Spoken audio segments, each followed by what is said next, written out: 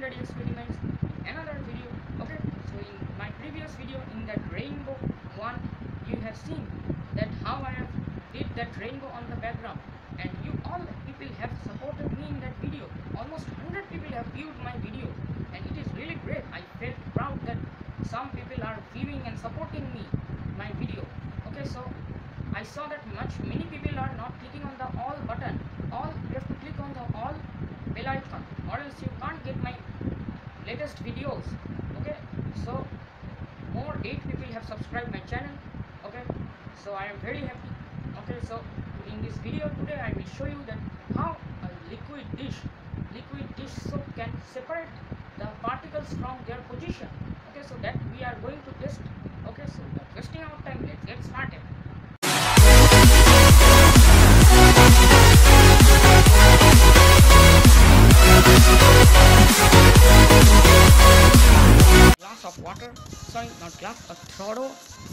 water you can see and here I have black pepper powder. I will put in small amounts only. So wait. Okay so you have seen. You are seeing that I have put pepper on this whole water and it is all over floating on the water. Okay so now I will take a small portion of my liquid dish soap. So wait. Okay so let's see I can disbalance or not I have here soap. Wow brilliant. You have seen this. As soon as I touched here in the middle it quietly dispersed on all sides. You can see this. On all sides it has dispersed. As soon as I touched this my liquid dish soap. Okay so I will again do it. It is really great small amount of dish soap also. Happening dish soap. Okay so you can see. It is occurring. Okay so see this again. Okay so I will change the water. And after that I will show you again with another powder. I think this has more density. So that is why it is not happening. So wait. So I did it with black pepper but black pepper is very expensive and very small amounts. Okay so now I, I will use another powders also. Okay so here is coriander powder. Okay so again I will take a small amount of this soap. I took it and now see the magic. Oh no. It is not occurring.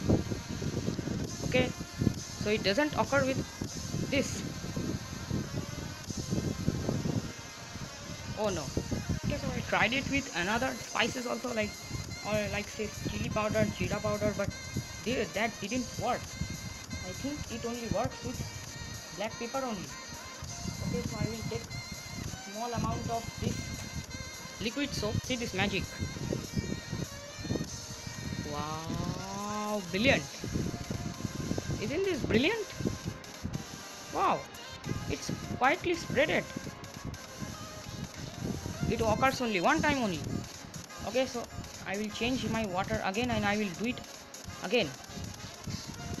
No this can go in this water. What occurs or not? You can see it quietly dispersing see this?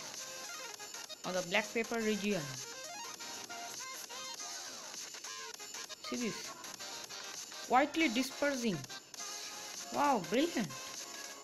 It occurs only one time only. Okay so now i will end my video up to here. Okay hope you have liked it. Now i will tell you the sign. You can't do this magic in, in all this dirty water or this water which has been already used or the water which has